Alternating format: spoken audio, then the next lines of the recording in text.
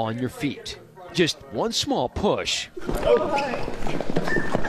well, can be enough to throw even just a handful of people off balance. So what's amazing about that is one person pushed and then a crowd of 15, 20 people gets pushed together and then your, your steps are so small we're all stumbling on each other. Now, our expert shows us a better way to stand.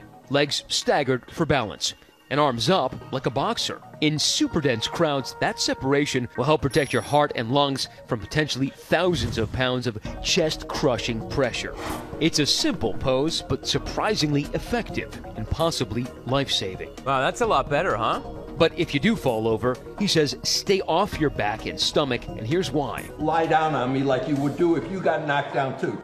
Like that. Now you. Okay, the other guy. Okay, I can't breathe. My lungs are compressed. I can't can breathe, and you're face. on my heart. He says do everything you can to get up, but if you can't, lay on your side to protect your most vital organs, your lungs and heart, and cover your head. This is about living or dying.